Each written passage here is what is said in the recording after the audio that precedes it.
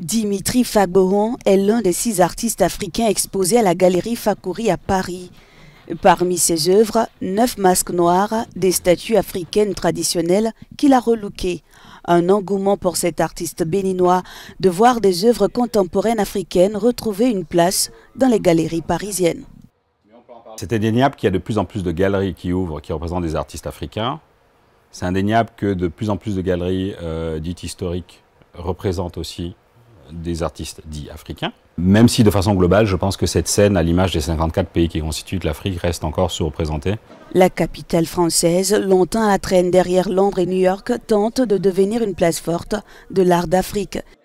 Si Paris a accueilli plusieurs expositions majeures d'art contemporain africain, leur programmation trop irrégulière a nuit à l'enracinement de la discipline. Paris a toujours été multiculturel comme New York l'est, euh, et de ce point de vue, oui, c'est une terre d'accueil mais euh, parce que nous sommes Paris, j'ai envie de vous dire. Nous faisons Paris, nous faisons partie de ce melting pot qui fait que les choses bounce back. C'est euh, une énergie à laquelle on participe également.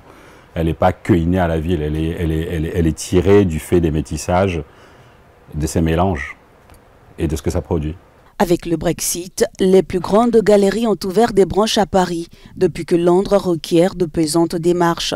La galériste Carole Onambile veut croire à un repositionnement périn de l'art africain dans la capitale française. On espère que ce n'est pas une mode, euh, l'art contemporain avec des artistes euh, africains de la diaspora, que ça va vraiment... Euh, c'est des artistes qui vont trouver leur place dans l'art mondial, dans l'art global. Euh, et, qui ne seront plus euh, mises dans des boîtes comme ça. Ça, c'est un artiste euh, de, l'art contemporain africain. Ça, c'est un artiste, je ne sais pas, artiste, est-ce qu'on dit artiste européen, artiste américain dans ce nouvel environnement, plusieurs structures dédiées ont ouvert leurs portes au marché de l'art d'Afrique. Mais pour les artistes, les ateliers se font rares et les refus de visa par les autorités françaises touchent même des créateurs reconnus.